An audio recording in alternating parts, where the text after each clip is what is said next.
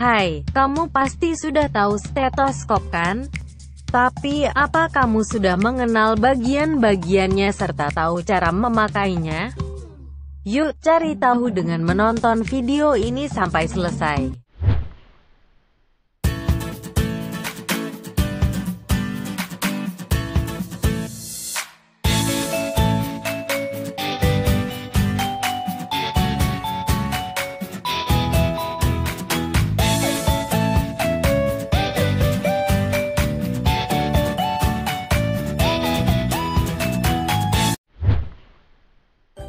Stetoskop adalah instrumen atau alat untuk melakukan auskultasi. Auskultasi artinya mendengarkan suara yang dihasilkan dari dalam tubuh pasien. Umumnya, auskultasi ini dilakukan untuk memeriksa suara jantung, paru-paru, maupun usus. Setelah itu, baru pemeriksa dapat menilai apakah suara yang dihasilkan normal atau abnormal. Sebagai tenaga kesehatan maupun mahasiswa kesehatan, sangat penting memiliki stetoskop dengan kualitas yang baik dan nyaman digunakan. Sehingga pemeriksa dapat mendengarkan suara di dalam tubuh pasien dengan jelas. Stetoskop terdiri dari beberapa bagian yang memiliki fungsi masing-masing. Pertama ear tips atau earpieces. Ear tips ini merupakan bagian stetoskop yang dimasukkan di telinga. Ear tips dibuat dengan pas untuk dipakai di setiap sisi telinga sehingga suara lain tidak ikut terdengar.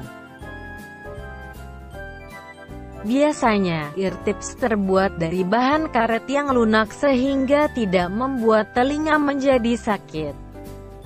Namun, ada beberapa stetoskop yang memiliki ear tips dari plastik yang keras. Tergantung pemeriksa lebih nyaman menggunakan yang mana. Kedua, chest piece. Chest piece adalah bagian dari stetoskop yang menempel di tubuh pasien. Stetoskop bisa dikategorikan menjadi dual head stetoskop dan single head stetoskop. Dual head stetoskop memiliki sisi datar yang disebut diafragma. Bagian diafragma dilapisi oleh membran tipis.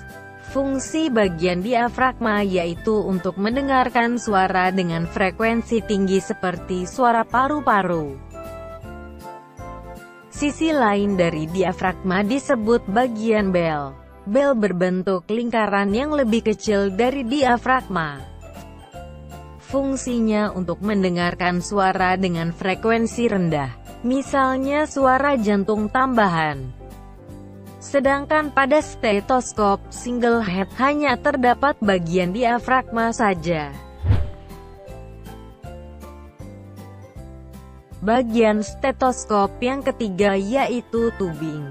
Tubing terbuat dari selang karet.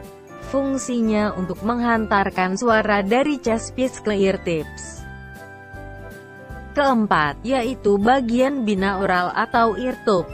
Binaural berfungsi untuk mempertahankan posisi stetoskop supaya tetap tegak dan nyaman serta pas di telinga saat dipakai. Hal ini dilakukan supaya posisi ear tips pas di lubang telinga serta meningkatkan kenyamanan selama memeriksa. Karena jika tidak pas, biasanya area telinga sekitar ear tips akan terasa sakit.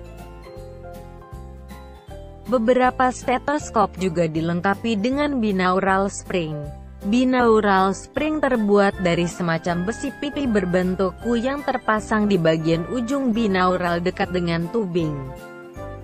Binaural spring berfungsi untuk mempertahankan posisi binaural supaya stetoskop terasa nyaman dan pas saat dipakai di telinga.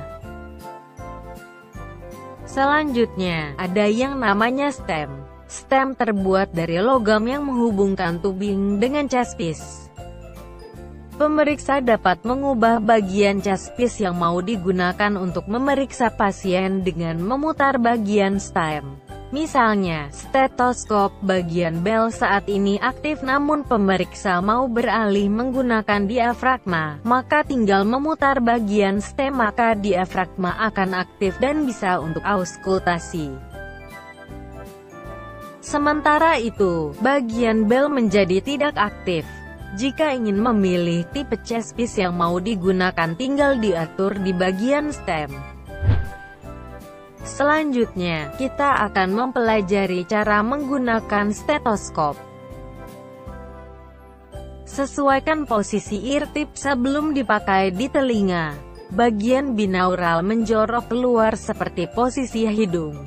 Sehingga, ear tips akan pas dan nyaman saat dipakai di telinga kanan dan kiri. Jika kamu keliru saat memakainya tinggal pakai di posisi sebaliknya. Selanjutnya, pasang ear tips di lubang telinga. Untuk melakukan auskultasi sesuai dengan kondisi pasien sebenarnya, sangat penting untuk memastikan bahwa pemeriksa telah memasang ear tips dengan benar.